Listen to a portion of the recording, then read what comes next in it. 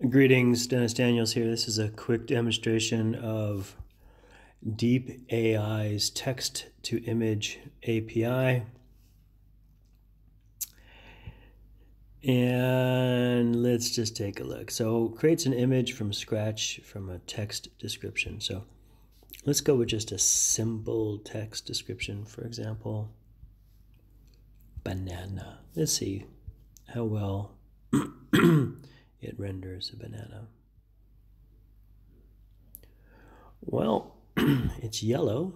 I wouldn't call any of those things bananas. You know, in fact, some of those things are positively unhealthy looking. Let's try um,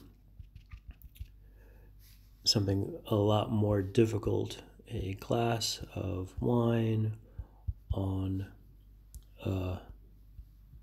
table. And let's see what it does. Well, that's much better.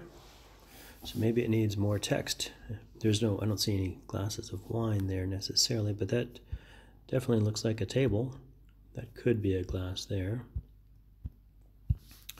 Let's go with um, a bird in cage.